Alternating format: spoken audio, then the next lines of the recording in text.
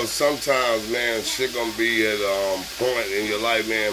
Even when we think we can damn handle every situation, you know, it's gonna be a time, man, when we put to a test. And you know what I'm saying? It's just like something inside a snap. You know what I'm saying? Everybody comes to that breaking point um, at a time in their life. And um, the things that we gotta remember, you know what I'm saying, is what we've been through in life and what the fuck we done, um, you know what I'm saying, um, been able to overcome.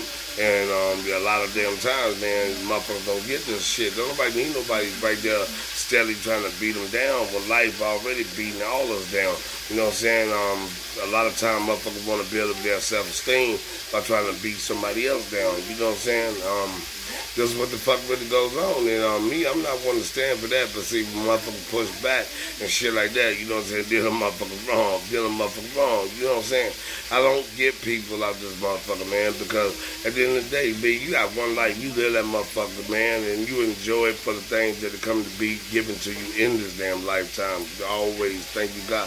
But um, don't nobody got time to sit right here and hear nobody whine or complain about what someone else doing.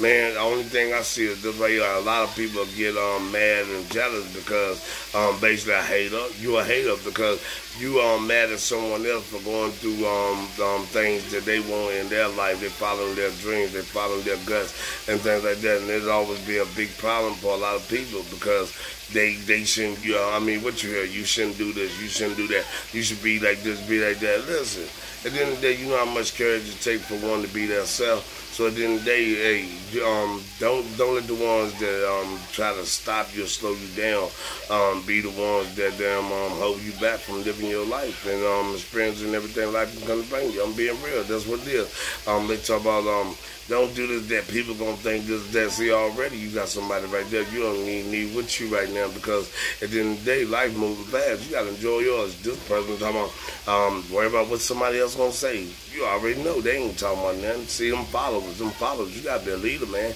You gotta know what you believe in, and you gotta know what you willing to um, want for yourself in life and go to accomplish.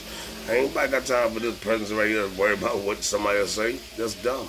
I'm just saying. Let me explain, man.